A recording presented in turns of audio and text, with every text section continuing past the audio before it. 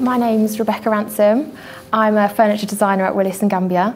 The main thing that I took away from the impressional industry experience is the openness of all of the companies that took part within the course. It's, they're not only future contacts, but they've become kind of friends.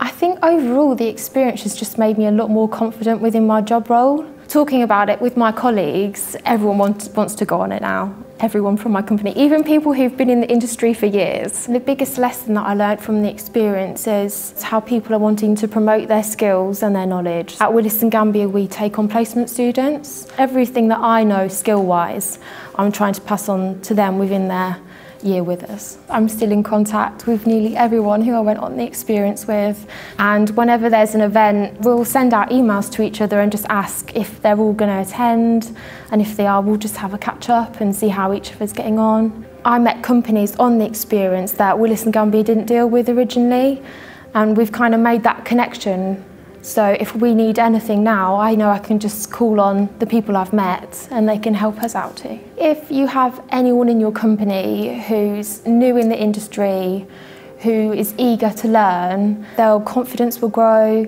their knowledge will grow in sections that isn't even within their current job role. Not only did I get to experience design within other companies, I got to experience branding, distribution, everything that I don't really get involved with within my current role. But going back now after that, I now feel like that extra knowledge I can put into the company.